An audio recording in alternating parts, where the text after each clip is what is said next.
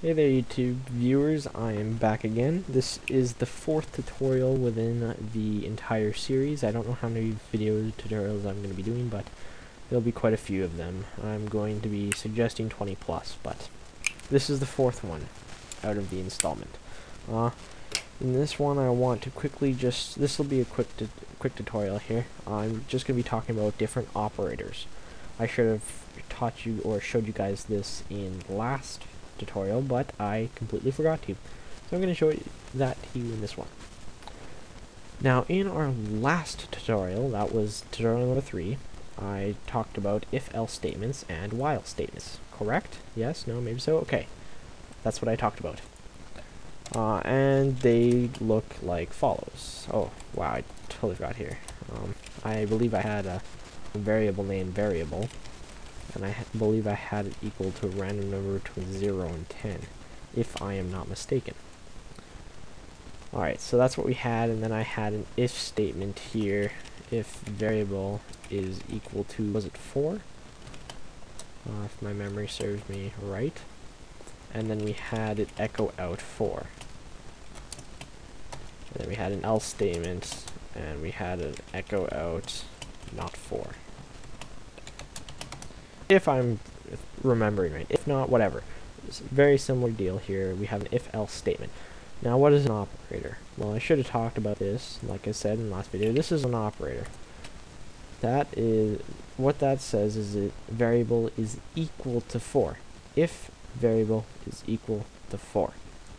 Now you can change that up a little bit. You can go, instead of equal to, you can go not equal to.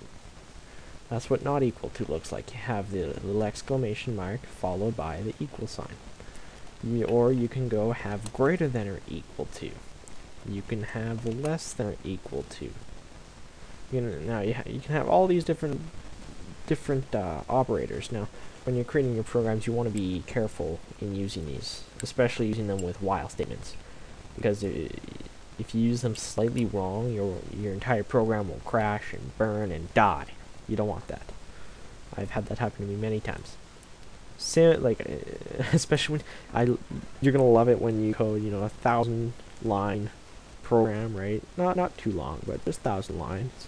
Okay, you have a crap load of while statements, and then it's giving you a big error on line 52, when really it's going to be on line 269, just because of a little operator that's why I just want to tell you guys really, really, really make sure when you're coding if-else statements, while statements, that you are using the right operators. Uh, and this concludes the end of tutorial 4. Again, uh, just quick brief summary. That's what equals to looks like. This is what less than or equals to looks like. Greater than or equal to, not equal to. And that's pretty much what you have there. I, I feel like I'm missing something here. Not equal to, oh, jeez. And then you have your simple greater than or less than. That's what I was missing. There we go. There's your operators right there. Equal to, less than or equal to, greater than or equal to, not equal to, greater than, less than. Simple as that. Make sure you use the right one and you'll you won't have any problems in the future. Again, this concludes number 4. I'll be making tutorial 5 uh, some other time, but it'll be up. Just keep an eye out for it.